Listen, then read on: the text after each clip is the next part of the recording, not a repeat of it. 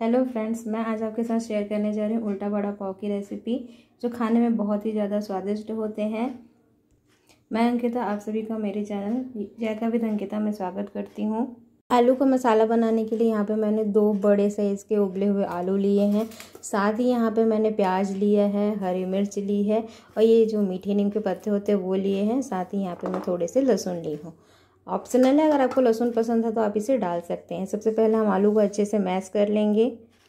तो यहाँ पे आप देख सकते हैं, मैंने हाथों से ही आलू को मैश किया है। ज़्यादा फाइनी से मैश नहीं किया, क्योंकि हम इसे कुक करेंगे तो ये ऑटोमेटिक और अच्छे से मैश हो जाएँगे।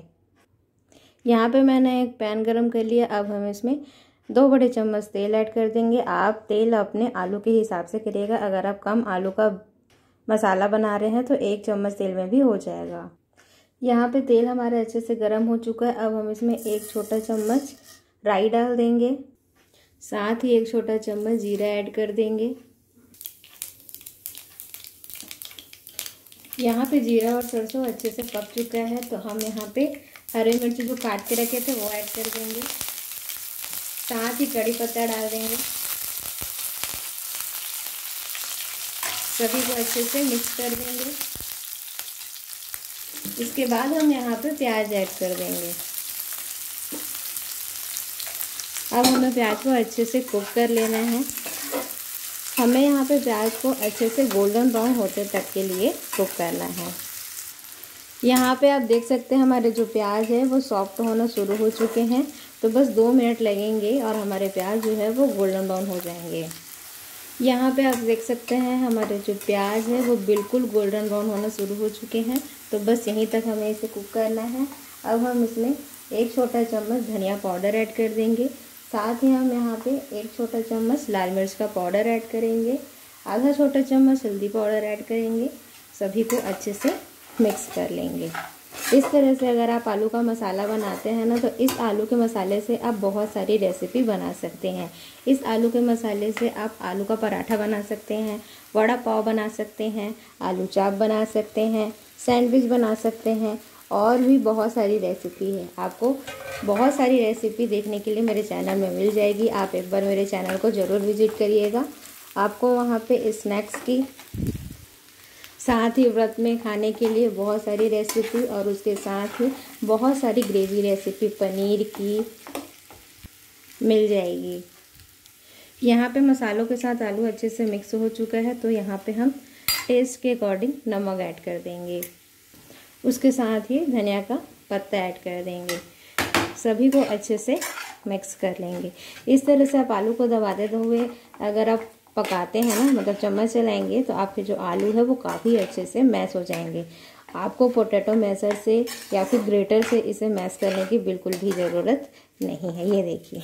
आलू बस ये है कि अच्छे से उबले हुए होने चाहिए, उसके बाद आप इस तरह से इसे कढ़ाई में भी अच्छे से मैश कर सकते हैं। इससे हमारा जो टाइम है वो बच जाता है और साथ ही बहुत ही ज़्यादा टेस्टी हमारे आलू के मसाले बन करके रेडी होते हैं। दस मिनट में ही हमारा सुपर टेस्टी आलू का मसाला बन करके तैयार हो चुका है, ये देखिए। परफेक्ट है, इससे ज़्यादा हमें इसे कुक नहीं करना है तो बस अब हम यहाँ पे गैस को ऑफ़ कर देंगे और इसे रूम टेम्परेचर में आने देंगे। अदरवाइज़ गरम गरम आप इसे सेब देना शुरू करेंगे ना तो आपके हाथ जल जाएँगे। तो थोड़ा सा इसे ठंडा कर लेंगे। जब तक ये ठंडा हो रहा है, तब तक हम बेसन का बैटर बना लेते हैं। यहाँ पे मैंने दो कप बेसन लिया है। उसके साथ ही आधा छोटा चम्मच हल्दी का पाउडर डाल देंगे। टेस्ट के अकॉर्डिंग हम यहाँ पे नमक डाल देंगे। नमक हमें यहाँ पे कम ही डालना है, ज़्यादा ऐड नहीं करना है, क्योंकि हम इसका आलू का जो मसाला बना करके रखे हैं ना, उसमें भी नमक है। एक बार सभी मसालों को बेसन के साथ अच्छे से मिक्स कर देंगे। उसके बाद हम इसमें थोड़ा थोड़ा पानी डाल के एकदम थिक बैटर बना लेंगे। एक ही साइड में हमें इसे फेंटना है, उससे क्या होगा कि बहुत ही अच्छे से हमारा बेसन जो है, वो उसका बैटर बनेगा और साथ ही ऊपर से एकदम सॉफ्ट और ऊपर से एकदम क्रिस्पी हमारे आलू बड़े बन के तैयार होंगे। तो यहाँ पे थोड़ा थोड़ा पानी करके हम इसका बैटर बना लेंगे। एक ही साइड से हमें फेंटना है, क्योंकि इससे बहुत अच्छे से हमारा जो बैटर है ना, उसमें एयर आएगी और बहुत ही ज़्यादा सॉफ्ट हमारे पकौड़े बनेंगे। यहाँ पे देखिए बैटर में कितनी ज़्यादा स्मूथ है। तो बस इसी तरह से हम इसे एक ही डायरेक्शन में फेंटते जाएँगे, लेकिन अभी जो हमारा बैटर है ना, वो काफ़ी थिक है। इस तरह से अगर हम बैटर बना के यूज़ करते हैं ना तो हमारे जो आलू के बड़े हैं, उसके ऊपर की लेयर काफ़ी मोटी आएगी। तो हम इसमें थोड़ा थोड़ा पानी ऐड करते जाएँगे और एकदम स्मूथ बैटर बना के रेडी करेंगे। और यहाँ पे हमारा परफेक्ट बैटर बन के रेडी हो चुका है। बिल्कुल इसी तरह इसका टेक्सचर होना चाहिए। अब हम इसे रेस्ट करने के लिए दस मिनट छोड़ देंगे। ये बनाना शुरू करते हैं उल्टा वड़ा पाव। उसके लिए यहाँ पे मैंने ब्रेड ले लिया है। साथ ही यहाँ पे मैंने एक ग्लास ली है। इसके बाद हम इसे राउंड शेप में कट कर लेंगे। ये देखिए। ये जो बचा हुआ हिस्सा है ना, ये वेस्टेज नहीं है। आपको मेरे चैनल में बचे हुए ब्रेड के टुकड़ों से या फिर पुराने ब्रेड के ब्रेड से या फिर ब्रेड क्रम्स से आप इसका ब्रेड ब्रेड क्रम्स भी बना सकते हैं या फिर आपको मेरे चैनल में बहुत सारी रेसिपी मिल जाएगी जो बचे हुए ब्रेड से, पुराने ब्रेड से या फिर ब्रेड क्रम्स से बचती है। और साथ ही मेरे चैनल पे आपको ब्रेड से बनने वाली रसमलाई की रेसिपी और उसके साथ ही शाही टुकड़े की रेसिपी भी मिल जाएगी। तो इस तरह से हम इसे कट कर लेंगे। और जो ये बचा हुआ ब्रेड है ना, इससे मैं एक और रेसिपी आप लोगों के साथ शेयर करूँगी। तो यहाँ पे आप देख सकते हैं, ब्रेड को मैंने अच्छे से राउंड शेप में कट कर लिया है। अब इसके एक साइड में जो अभी हमने हरी तीखी चटनी बनाई थी ना, वो लगा देंगे। काफ़ी अच्छे से हमें लगाना है। बहुत ही ज़्यादा इससे इसका टेस्ट आता है। और साथ ही एक साइड में हम क्या करेंगे कि इमली की मीठी चटनी लगाएँगे। इससे बहुत ही अच्छा आपका जो उल्टा वड़ा पाव बनेगा ना, उसमें एकदम खट्टा, मीठा, तीखा, सभी प्रकार का टेस्ट आएगा। इमली की चटनी की रेसिपी आपको मेरे चैनल पर मिल जाएगी और साथ ही इसके ऊपर हम लगाएँगे जो वड़ा पाव का जो मसाला होता है ना, वो मसाला को हम थोड़ा सा लगा देंगे जिससे कि एकदम ही ज़्यादा इसका टेस्ट जो है वो बढ़ जाएगा और अब हम इसे ऐसे पैक कर देंगे। साथ ही हमने जो आलू का मसाला बना करके रखा है ना, उसे भी अब हम इसमें ऐड कर देंगे। ये देखिए। अच्छे से हमें इसे फैलाना है। एक साइड में हम लगाए, ये देखिए, हाथ से इसे अच्छे से हमें स्प्रेड कर लेना है। इसके बाद हम दूसरे साइड में भी इसे अच्छे से स्प्रेड कर लेंगे। कंजूसी मत कीजिएगा, अच्छे से इसके अंदर आलू का मसाला लगाइएगा। इसी से जो हमारा बड़ा पाव का जो टेस्ट है ना, वो बहुत बढ़ जाएगा। ये देखिए, काफ़ी अच्छे से लग चुका है। और जो हमने चटनी लगाई थी ना, जिसके कारण ये एक दूसरे से आपस में अच्छे से चिपके रहेंगे।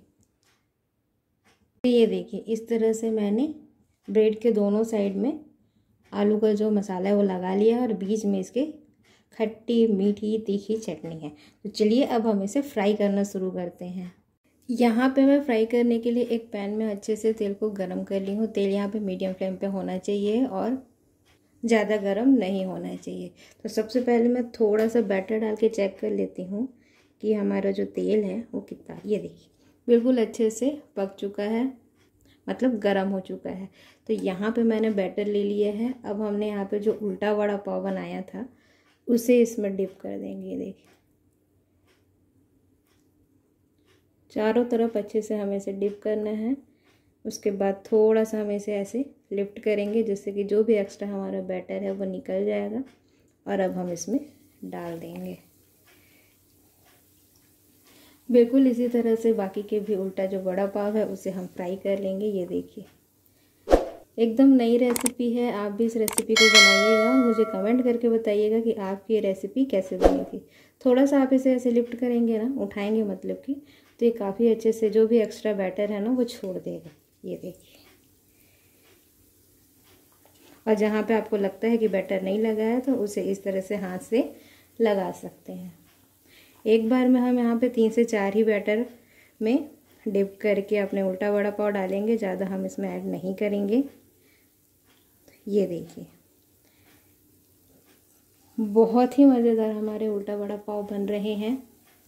तो यहाँ पे आप देख सकते हैं, एक बार में मैंने चार उल्टा बड़ा पाव डाल दिया है। अब देखिए, जितना अच्छा आपका बैटर बने रहेगा ना, उतना अच्छे से ही ये कोको को, ये देखिए, बिल्कुल भी नीचे से चिपका हुआ नहीं है। बस ये है कि अभी थोड़ा पका नहीं है। हल्के हाथों से हम इसे घुमा लेंगे। जब तक ये एक साइड से नहीं कुक हो जाता, हम इसे पलटेंगे बिल्कुल भी नहीं। थोड़ा सा समय लगेगा क्योंकि मैं इसे मीडियम फ्लेम में पका रही हूँ। हाई फ्लेम में पकाने से बेसन जो है, उसकी लेयर एकदम से पक जाएगी और अंदर से जो है, वो कच्चा रह जाएगा। तो इसलिए मीडियम फ्लेम पे ही हमें इसे कुक करना है। यहाँ पे हमारे जो उल्टा बड़ा पाव है, एक साइड से अच्छे से कुक हो चुके हैं तो बस अब हम इसे पलटेंगे। उसके पहले जो ये आपस में चिपक गए हैं, उसे हम अलग कर लेंगे और ये देखिए। इसका साइज़ देखिए आप।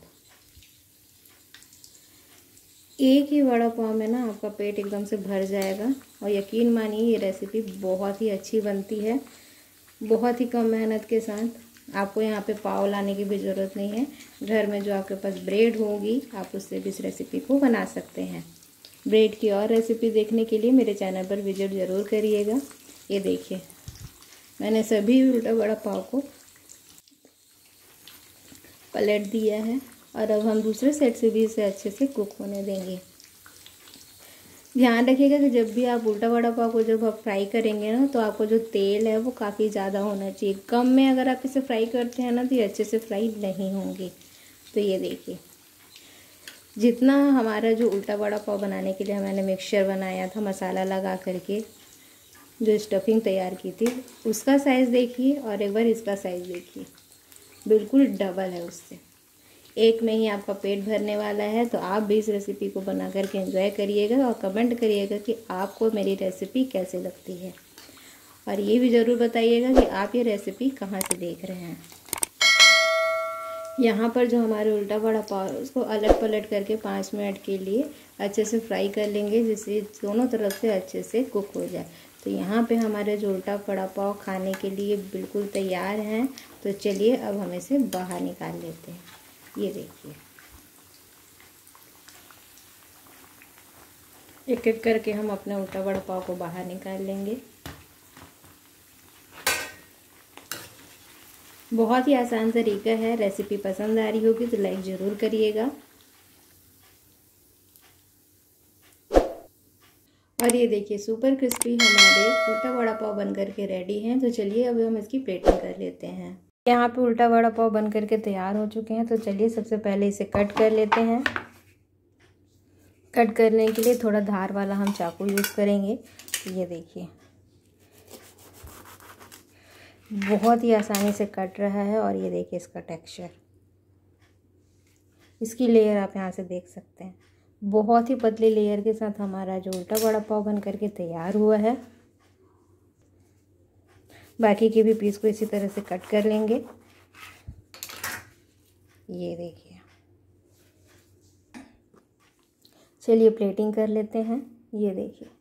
बहुत ही अच्छे से हमारी आलू की स्टफिंग हुई है और साथ ही खाने में बहुत ही ज़्यादा टेस्टी होते हैं। अगर आपको रेसिपी पसंद आई होगी तो कमेंट करके ज़रूर बताइएगा। साथ ही इसे हरी चटनी के साथ सर्व करेंगे। अगर आपको तीखी हरी मिर्च पसंद है तो आप इसके साथ एंजॉय कर सकते हैं। बिल्कुल रेडी है हमारा खाने के लिए उल्टा वड़ा पाव। अगर आपको मेरा उल्टा वड़ा पाव बनाने का तरीका पसंद आया होगा तो वीडियो को लाइक ज़रूर कीजिएगा। कमेंट करके बताइएगा कि आपको मेरी रेसिपी कैसी लगी। और साथ ही आप इस तरह से उसके ऊपर हरी तीखी चटनी और इमली की चटनी की गार्निशिंग कर सकते हैं।